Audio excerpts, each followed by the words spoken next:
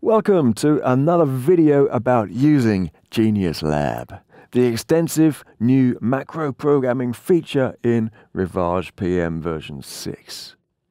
We've seen how to use function keys, user-defined keys, and more. Now, let's take a look at some application examples using faders.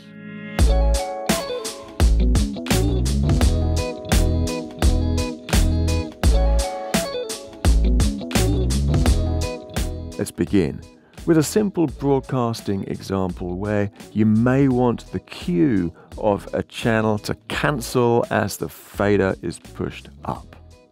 It's because the studio would use a set of monitor speakers for the program and an additional cue speaker.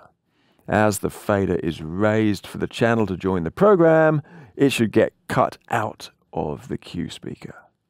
We call it fader cue release, and we can easily program it for a range of channels.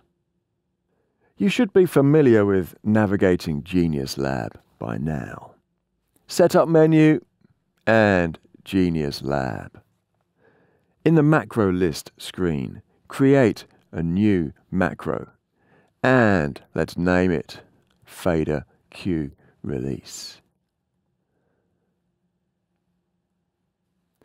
Open Capture and move one of the faders up a short way, like to minus 60. Then press cue to switch it on and off. Import the fader level as a trigger and the cue off as an action. Now, we need to edit the trigger because you'll notice that the default operator is equal. We don't want cue to switch off only when the fader level equals minus 60, but we want it to switch off whenever the level goes above minus 60. So set the operator to more than. Enable the macro and test how it works.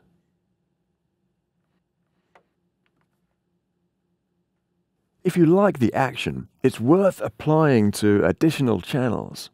This can be done within the same macro if you remember about the parallel parameter. Switch off the macro and edit the trigger.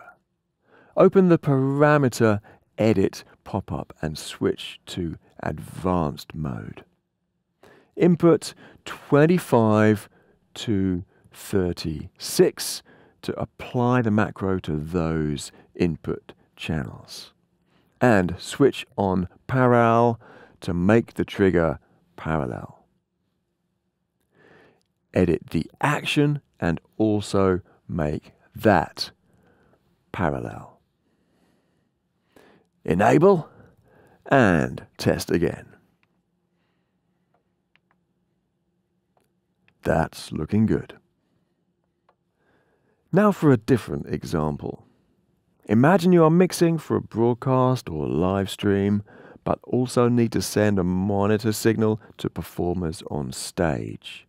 You want to send a post-fade signal of the presenter's microphone to them so they hear nothing when the fader isn't contributing to the broadcast but you want to limit the level in their monitor so it doesn't get too loud, even when you want it louder in your mix. A solution would be to turn the mix send to pre-fade as the channel fader rises above 0 dB. Let's try and create the macro for it. Let's call it something like post to pre. Now, open capture, clear all, and move the presenter's fader up to 0 dB. Import that as a trigger. Set one of the mix sends to pre and import that as an action close capture, and edit the trigger. Let's use a different operator, not less than this time, which could also be described as greater than or equal. Edit the action and add any additional mix buses required to the parameters using the advanced mode in the edit pop-up. I need mixes 1 to 6. Now create a reverse action and set the pre value to off, which is post. Enable a macro and test. See that pre is enabled as the fader reaches 0 dB or above. And it switches back to post as the fader moves below 0 dB again. So that is using faders as triggers. How about having fader movements as an action? For example, a quick key press to reduce some stage monitor levels by 3 dB when there's a risk of feedback as a performer gets too close. We could program a user-defined key to do that. Let's create a new macro and call it moms minus 3. Open Capture, clear all, and press the user-defined key hold it down and import it as a trigger. Move one of the mix bus faders and import it as an action.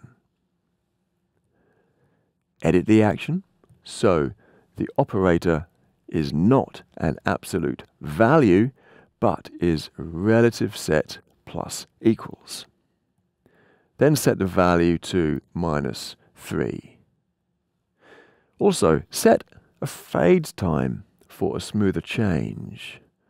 How about 0.5 seconds?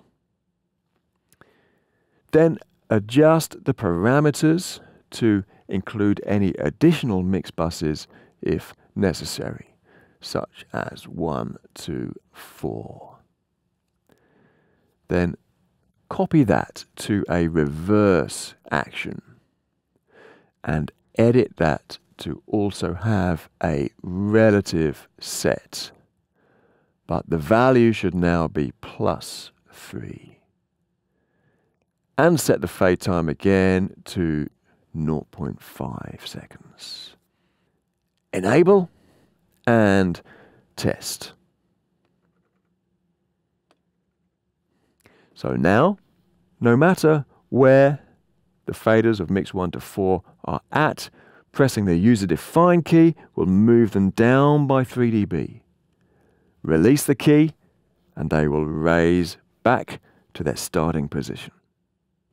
Hopefully you remember from another video how to add actions for lighting the key's LED and writing a label for it, and how to get switch latching behavior instead.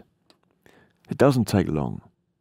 I'm sure you've got some good ideas about creating your own fader-based macros now using Genius Lab in Rivage PM version 6. Enjoy its almost limitless possibilities, though don't be afraid to just keep things simple. Anyhow, my other videos about macros with patching, function keys, wait times, and more will be helpful. See you again soon.